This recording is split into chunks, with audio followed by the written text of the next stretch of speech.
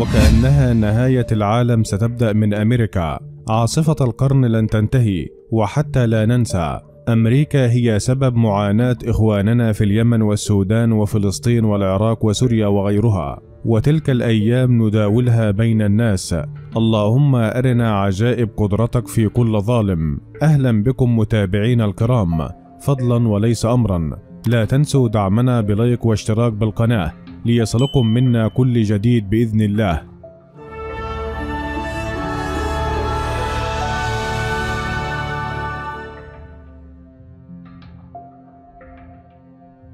كانت هناك أجواء احتفالية في البيت الأبيض قبل العاصفة بأيام بعد أن وقع الرئيس الأمريكي جون بايدن على قانون يمنح الحماية الفيدرالية بالزواج من نفس الجنس في جميع أنحاء الولايات المتحدة. وشرع زواج المثليين. وقال جون بايدن قبل شهور قليلة أن أمريكا لا شيء يفوق قدرتها على تحقيق أي شيء. الأمر لم يدم وقتا طويلا. حتى جاءهم الجواب من الله عز وجل كي يذكرهم بأن هذه القوة التي يتبجح بها الأمريكيون قد يقضي عليها جند واحد من أضعف جنود الله عز وجل. فأمريكا اليوم تعاني من أسوأ أيام حياتها. إعصار بسيط أرسله الله عز وجل. دمر لهم كل شيء. وبيضنا اليوم يعلن ولاية كنتاكي منطقة منكوبة.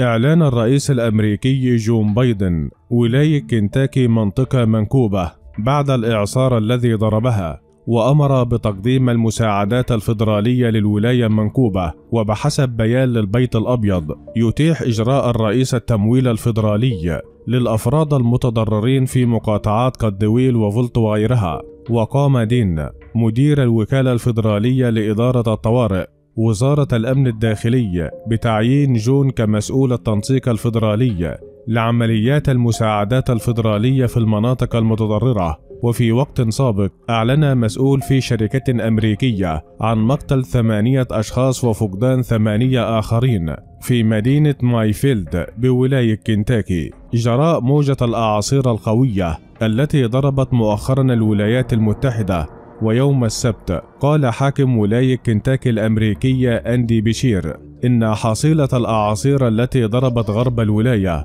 قد تصل إلى ما بين 70 إلى 100 قتيل ووصف الرئيس الأمريكي جون بايدن الأعاصير التي ضربت أجزاء من الولايات المتحدة بأنها الأكبر من نوعها في تاريخ البلاد. وألحقت العواصف القوية الدمار في عدة ولايات وتركت الآلاف بدون كهرباء خاصة في ولاية كنتاكي. وقضى 83 شخصا على الأقل في خمس ولايات في وسط الولايات المتحدة وجنوبها بسبب أعاصير وعواصف. وقال حاكم كنتاكي بشير كنا شبه متأكدين من أننا سنخسر أكثر من 50 من سكان الولاية وأنا متأكد أن هذا العدد يتجاوز 70 وقد يتجاوز 100 بحلول نهاية اليوم. وأظهرت صور وفيديوهات على مواقع التواصل الاجتماعي مباني دمرتها العاصفة بينما تناثرت قضبان حديدية ملتوية وأشجار مقطوعة وحجارة في شوارع تاركة ورائها واجهات منازل متدمرة. ولحقت أضرار بالعديد من مقاطعات كنتاكي جراء الإعصار الأقوى على الإطلاق والرياح المرافقة. التي تجاوزت سرعتها 300 كيلو متر وقضى أربعة أشخاص في ولاية تنسي وشخصان وشخص واحد على الأقل. حسب مسؤولين ووسائل إعلام محلية تشهد الولايات المتحدة الأمريكية أجواء شتوية عصيبة لم تواجهها من قبل والتي أدت إلى وفاة العشرات بسبب الانخفاض الشديد في درجات الحرارة فضلا عن وجود ظواهر غريبة من نوعها تصيب البلاد. ناجمة عن التغيرات المناخية وتداولت وسائل الإعلام العالمية مقاطع فيديو للمواطنين وهم يتزوجون ويسيرون على بحيرة لانكولن المتجمدة في العاصمة الأمريكية واشنطن وذلك بعدما تجمدت تماما بسبب الانخفاض الشديد في درجات الحرارة وسقوط الثلوج بصورة غير مسبوقة توقفت الحياة بشكل كامل بسبب تكدس الثلج وأعاقت حركة الطرق. وتسببت الثلوج في وفاة أكثر من 1050 شخص وتجمد أكثر من 4000 حيوان. كما أذاعت البي بي سي حالة من الخوف والرعب لدى المواطنين من عودة الإعصار. كما أذاعت الأرصاد الجوية تكدس بالمطارات من المواطنين بسبب المخاوف من عودة الإعصار. فصل الكهرباء من 600 منزل ومن الطرق الرئيسية خوفا من تسريب كهربائي إعاقة السير أمام السيارات لوجود شبورة مائية توقف جميع المتاجر ونهب بعضها من بعض المواطنين البعض الذي يعاني الآن من سوء الأحوال الجوية والبعض الآخر يستقبل الفيضان. آثار ذوبان الجليد. سبحان القوي المتين. منذ أيام قبل العاصفة بيض تحدى الله عز وجل وقال أن أمريكا لا يعجزها شيء وقام بتوقيع المواقفة رسميا. على زواج المثليين ولكن الله عز وجل أظهره من الإعجاز وعجزهم سبحان الله. وقال مسؤول ولاية نيويورك إن أفراد الطوارئ كانوا ينتقلون من سيارة إلى أخرى بحثا عن ناجين من العاصفة وعثروا على جثث في سيارات. وقال مارك بولو نيكارز المدير التنفيذي لمقاطعة إيري التي تضم بافلو إن آخرين توفوا نتيجة سكتة قلبية. أثناء تجريف الثلوج مع إصدار ولاية بافلو تحذيرا للناس بأن الإجهاد المفرط بأن الإجهاد المفرط في عمليات تجريف الثلوج يمكن أن يسبب نوبات قلبية أو إصابات في الظهر واضطرت أسرة في المنطقة مع أطفال صغار تتراوح أعمارهم بين عامين وستة أعوام إلى الانتظار مدة 11 ساعة قبل إنقاذها في الساعات الأولى. من يوم عيد الميلاد.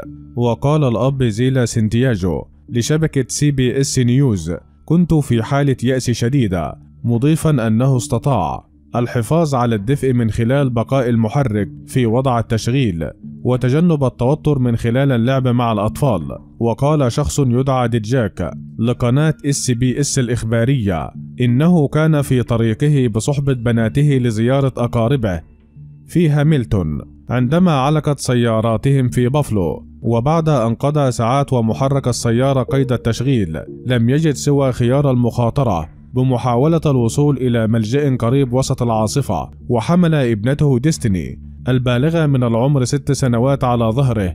بينما كانت ابنته سند البالغة من العمر 16 عاما تمسك جروها الصغير.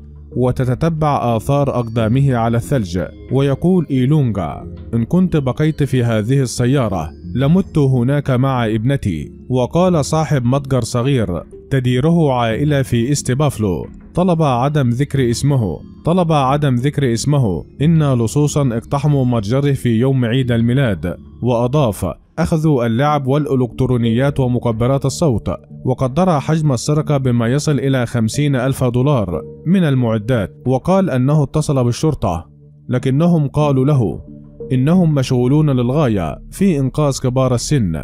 وقال بولو نيكارز يمكننا أن نشعر ببعض التفاؤل لكن هذه ليست النهاية. وأضاف أنها عاصفة ثلجية تحدث مرة في الجيل.